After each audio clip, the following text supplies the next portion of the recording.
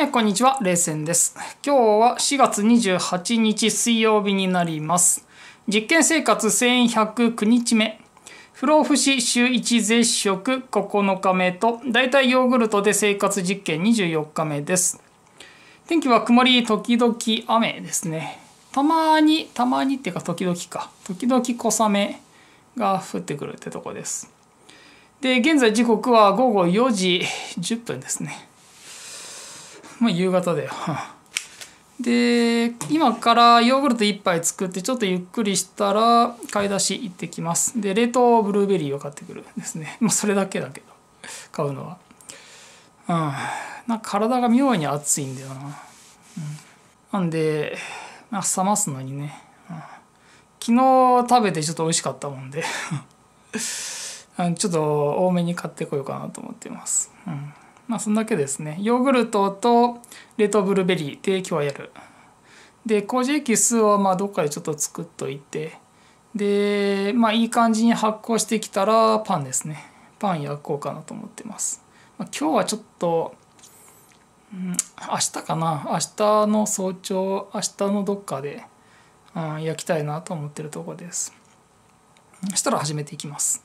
今日の1杯目入れていきます。これ C の瓶。4月25日午前4時頃に仕込んだ58世代目午後1時頃に出しています。9時間発酵のタイプ。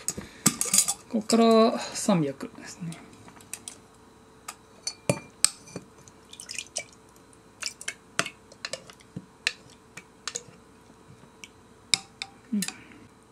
うん、うん、このとこですね。でオレンジを200早めに飲んでゆっくりしてでブルーベリー買ってくるんで、うん、雨降る前にね。できな粉大さじ1杯。あ大さじ2杯ですね、うん。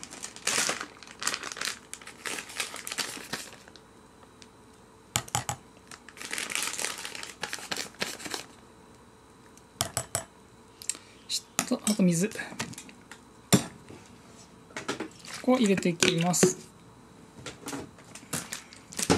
はい、ながらの名水を300。うん、多いか。うん、したら取ってきます。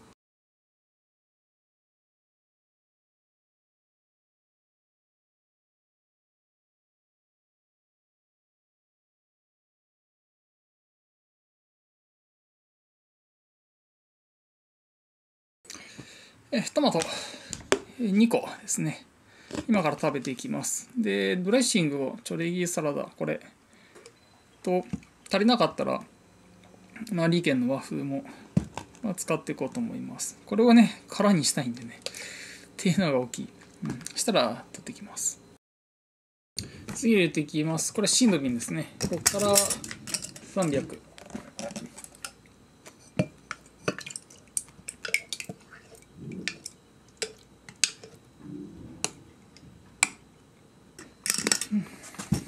でオレンジを200あちょうどか。ちょうどっぽいな。できな粉大さじ2杯。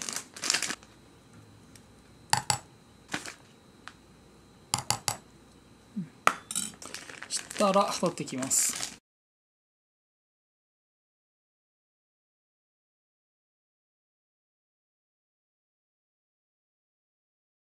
次入れていきます。これ C の瓶ですね。ここから300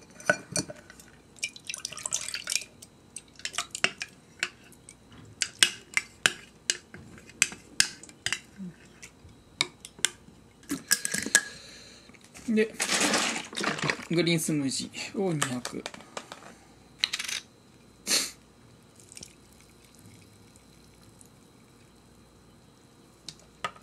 できな粉大さじ2杯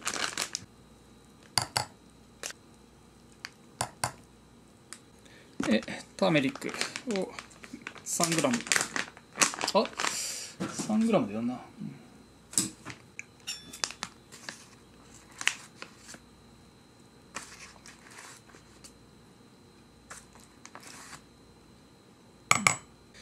でブラックペッパーを 1g まあ30回ってとこですね。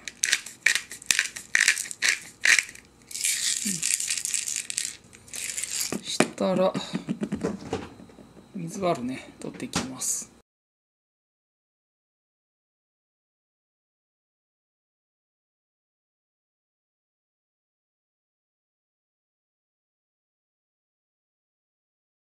次入れていきます。これは C の瓶ですね。こっから300なんかお腹空いてきちゃったんで。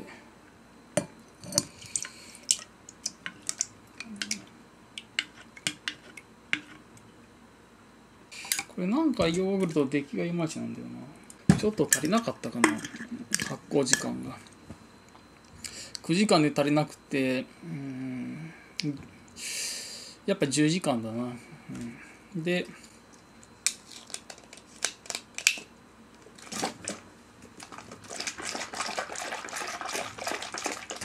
これオレンジですね。これを200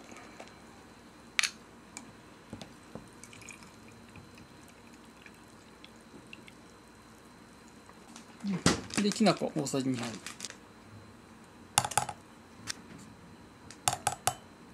したら取ってきます。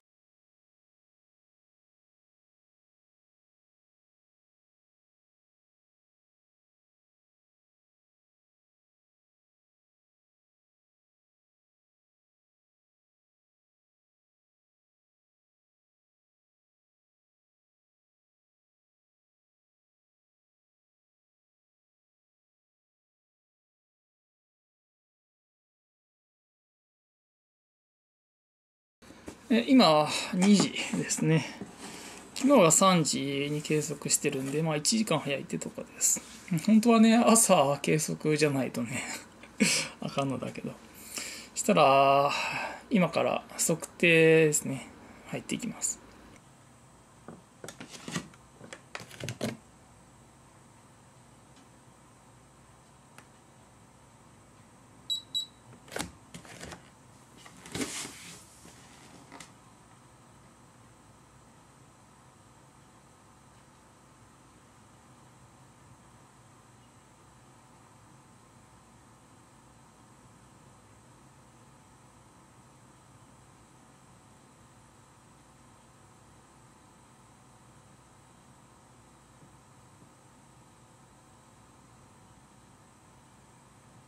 ウエスト測っていきます。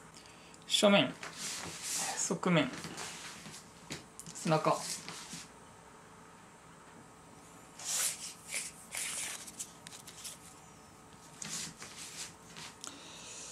73.5ですね。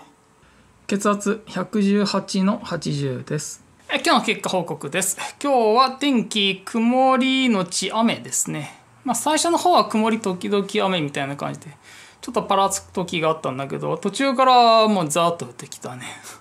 もう完全に雨って感じで。うん。で睡眠時間2時間半ほどとっています。翌日午前7時から9時半までの2時間半です。多分これだけ一応さっき確認したんだけどね。うん。撮ったやつね。これだけだと思います。ウォーキングとウェイトトレーニングはなし。日中の室内温度午後4時頃計測で23度。湿度は52%でした。飲んだものヨーグルト。自家製のカスピ海豆乳ヨーグルト。今日は C58 世代目9時間発酵のタイプを4杯で 1200ml 取っています。で麹エキスは0グリーンスムージーは200オレンジは600水はながらの名水で 200ml です。まだ 100ml ちょっと冷蔵庫残ってます。合計が 2200ml 水200のため実質は 2000ml です。まあ4杯なんでね。これプラス固形物。今日はトマト2個、まあ、これだけですね。シンプルだね。できな粉大さじ8杯。ターメリック 3g ブラックペッパー 1g 大豆大根の酢漬け。少しってところです。尿回数7回出てて濃さ平均的薄め完全無色。量は平均的少ない時がありました。大便今日1回出てます翌日午前4時25分頃色カニ味噌寄りの褐色チューブとバナナ状30センチプラスソフトクリーム状で50ミリくらい平均的な硬さで匂いは少しありってところですまあね、褐色、一応褐色の色合いもあるんだけど、ややカニ味噌寄りかなって感じだね。うん、カニ味噌と褐色が混ざった感じっていうのかな。そんな感じだった。で、おならは稀にありで匂いはなしってところです。今日の計測時刻は午後2時頃です。昨日よりも1時間ほど早いですね。まあ、その分0.1キロぐらいは増えてることになります。体重64.95キロ。昨日に比べて0.35キロの増加です。なので、昨日と同じ時間に測ったら0.25キロの増加ってとこですね。なので、ちょっと体重増えてます。BMI20.5 でプラス0.1、体脂肪率は15.1%で0.5%の増加です。なので今日体重も体脂肪率もちょっと上がってるんだよね。血圧118の80、最高血圧プラス12、最低血圧プラス6。なので血圧もちょっと上がっています。脈拍70でマイナス2、ウエスト73.5センチで1センチの増加です。なのでウエストもちょっと膨らんでるっていうのか。で、今日の気づき。まあ今日そうないんだけど、一つはね、あの、性欲。性欲が今日ちょっと出てきたね。うん、なんだろう。ってまあ考えられるのトマトしかないんだけど トマトやっぱね野菜だな野菜取るとねなんか性欲出てくるんだよねあの野菜ジュースもそうなんだわ野菜ジュース多めに取ると性欲出てくるんだよ、うん、でトマトも性欲出てくるな。うん。まあ当然っちゃ当然かもしれないけど。野菜ジュースで出てくるんならね トマトでも出てくるわな。うん。なんだろうねその性欲が出る成分って。栄養なのかあるいは何らかの毒性なのか。うん。前も話したけど性欲が出るってことは子孫を残そうとするってことだから。つまり死に向かい始めてるっていうことなんだよね。うん、体が死を感じ取ってでそれゆえにまあ子孫を残そうとするっていう行為だから。だから体がやばい状態になるっていうことなんだよ。うん。ってことは農薬かな？野菜に含まれている農薬とかさ関係してるかな？っていう可能性もあるね。うん、なんかねとにかく野菜を取ると性欲が出てくるんだよ。うん、なんか栄養っていう可能性もあるんだけどな、うん、栄養なのかあるいは毒性なのか。うん。まあその辺あんま興味ないもんでさ。どの道飲まず食わずになるからあんま興味ないもんでまあどっちでもいいんだけど、うん、一応ねあの性欲は出したくないもんで、ない状態でいたいっていうのかな。なので野菜はあんま取らない方がいいな。って思った。トマトもちょっと食べてこうかなと思ったけどちょっとなしだな、うん、トマトもやめた方がいいな。うん、美味しいけどね。美味しいけど性欲出てくるんでね、よくないな。うん、まあ、なしで。あ結局、まあ、ちょっとしたお菓子とヨーグルト。うん、まあ、ここだな、ここに落ち着く。パンはまあ、まだちょっと保留だけどね。うん、結局パン作らなかったね。作る予定ではあったんだけど。なんかね、作る気がしないんだわ。パン食べたいっていう感じがあんまないんだよね。うんだけど一応確認はしときたいんだわ。うん、なんで、まあどっかで作ろうかなと思ってるんだけどね。ん、まあ明日だな。明日ちょっと麹エキス仕込んで、で、まあ元気なところでね、麹エキスが泡立って元気なところでちょっと作ってみようかな。一回ね。うん。って思っています。あと、あの、昨日の動画の編集作業をね、してる時にふと思ったんだけど、あのグリーンスムージーカゴメのグリーンスムージーあれ新しいニューのタイプパッケージが変わったやつだねゴールデンキウイが入ってるタイプあれ味見してないんだよな、うん、味見すればいいのになって思った。見ててね。編集の時にね。味見ぐらいしとけばいいのにみたいな、うん、なんで明日明日やろうと思う。うん。ちょっとその新しいゴールデンキウイ入ってるね。グリーンスムージーと今までのグリーンスムージーで味比べだね、うん、ちょっと味確認します。原液でまず味確認して。でその後ヨーグルトと割ってねグリーンヨーグルトでこの新しい方だねの味も見るそれでどんな感じ？多分変わんないと思うけどねそんなに。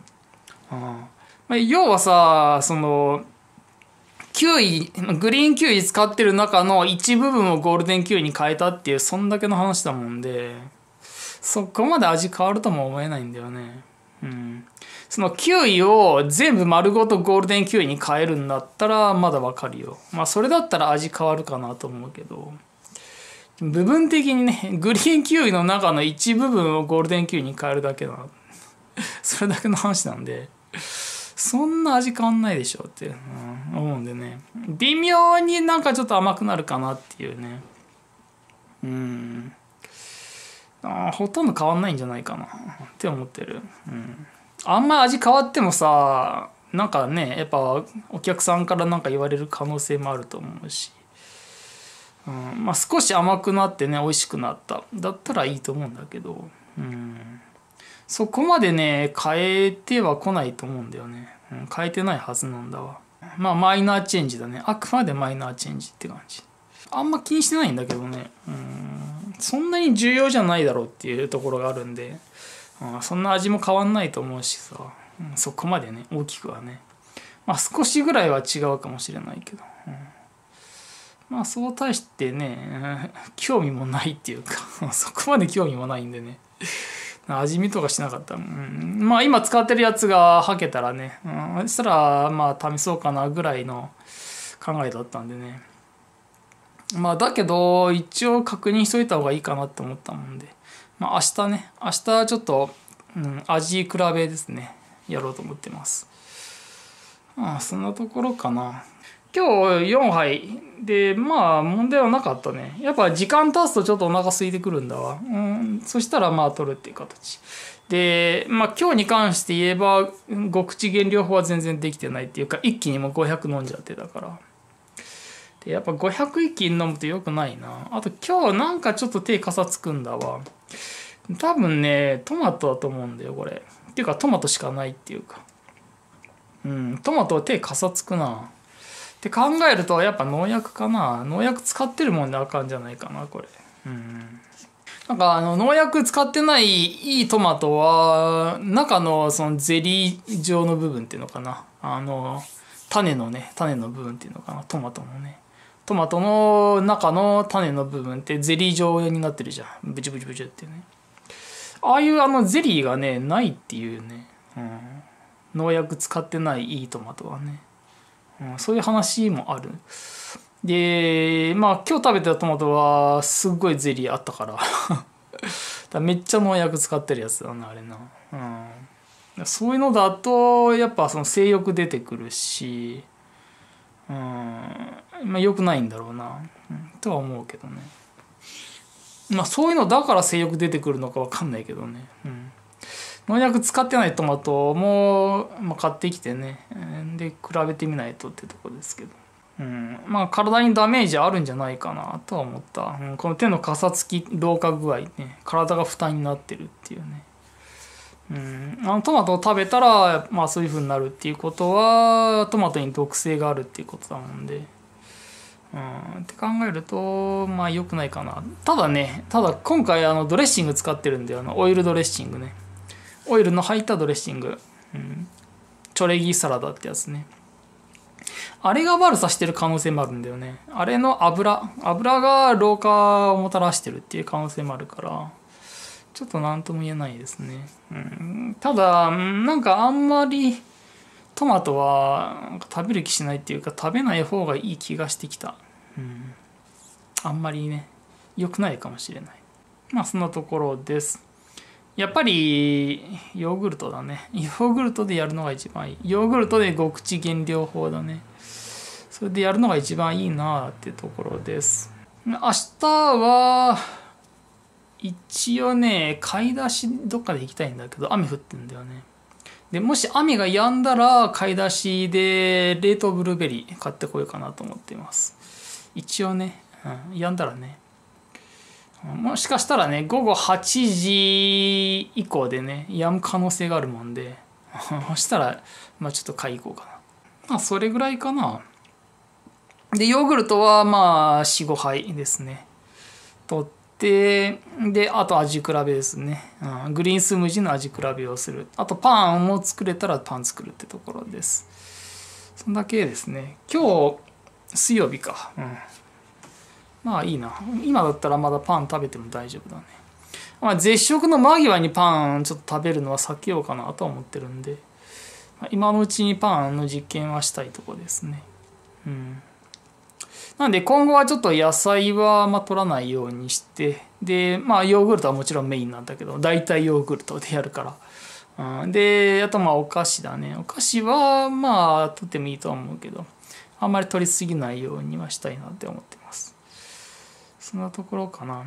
今日はなんかちょっとね頭がなんかぼやっとするんだよね。重いっていうか。うん。でいまいちなんか落ち着かない感じがあるんだよ。だろうね。まあいいや。でウォーキングは結局行けなかったもんね。ウォーキングって半ジョギングね。行けなかったもんで。雨降ってるからね。明日もまあちょっと行けないかな。早朝よければね、うん、いや晴れてたらまあ行けるかなってとこです。多分晴れてると思うんだけどな早朝は。うん。明日はなので1回ですね、うん、半ジョギング1回だけ行こうと思ってます。そしたら実験生活1109日目完了です。それではまた明日。